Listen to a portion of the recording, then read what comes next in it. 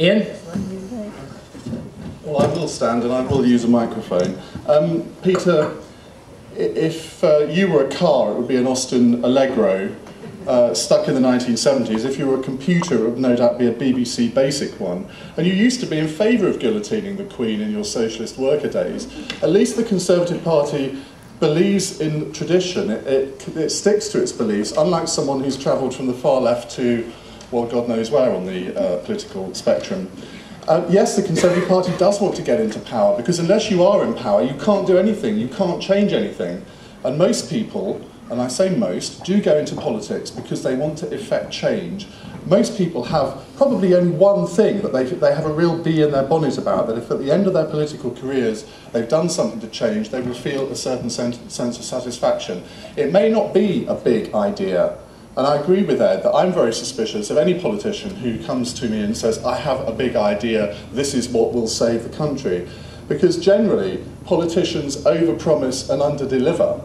And what I'd like to see David Cameron do is underpromise and over-deliver.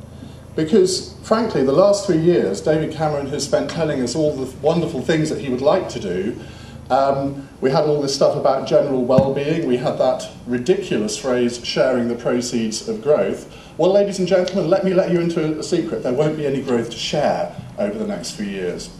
And we, it is sort of slightly retro now. It's not just back to the 70s, it's back to the 90s when Bill Clinton said it's the economy stupid. That's the only thing that is going to dominate British politics over the next few years. And whichever politician, whichever political party actually has a coherent sense of where they want to go in economic policy and, and can actually sell that to the electorate, um, that's the political party that I think is going to succeed.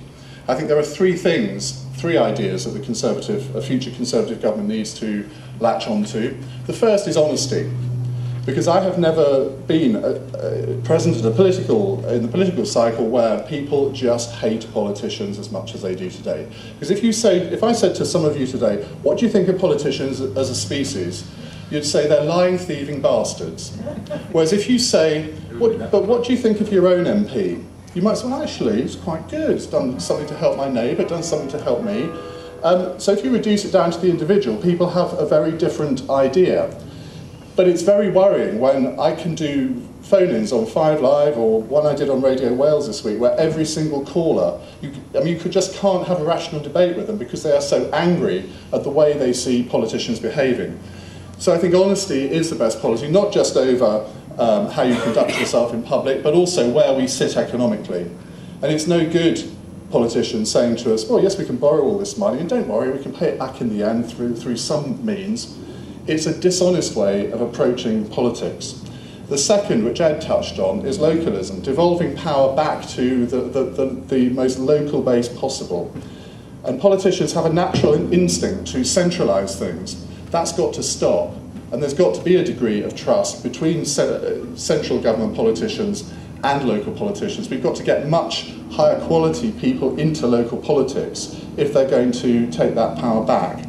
Thirdly, the Conservatives have got to get a grip on the machine of government because it's the civil service who will implement things. We've heard in recent weeks that all of these little initiatives that the government announced in the autumn haven't been implemented. Not a single small business has been helped by Gordon Brown's scheme. Not a single person has been helped with their mortgage through Gordon Brown's scheme. Why? Because the government departments concerned haven't implemented them. Now, if that happens in the first few months of a Conservative government, we can, we can look forward to very little change at all. I interviewed Ken Livingstone recently, who described the civil service as a malign influence on British national life because they are constantly for the status quo. And that's going to be a real challenge for David Cameron to get to grips with in his first term. Tony Blair never did. Tony Blair's first term was a failure in terms of public sector reform because the civil service was too slow in carrying out the instructions. So, as I said at the beginning, I'm suspicious of big ideas, but um, I think the electorate want a bit of honesty in politics, and that's what I hope they're going to get. Okay, Iain, thank you very much indeed.